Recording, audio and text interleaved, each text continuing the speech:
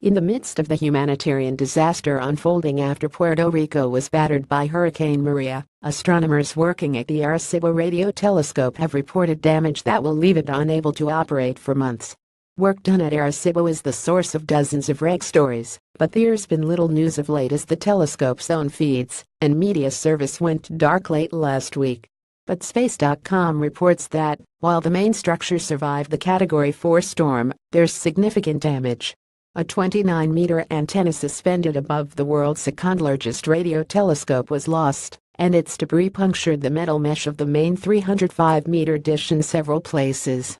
That's hardly surprising, since the line feed antenna involved have more than 150 meters to fall.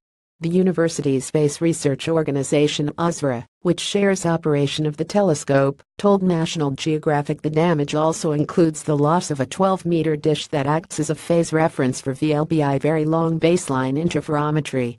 America's National Science Foundation told National Geographic it won't be able to fully assess damage until roads to Arecibo are opened. All staff who sheltered at the site are known to be safe and are stocked with food.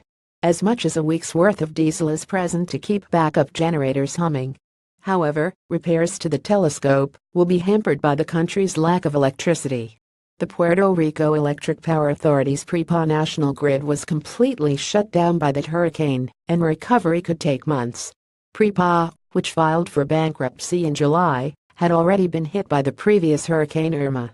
That storm blacked out a million customers, but the authorities said it had restored power to all but 60,000 when Maria hit. Sponsored the joy and pain of buying it have your say.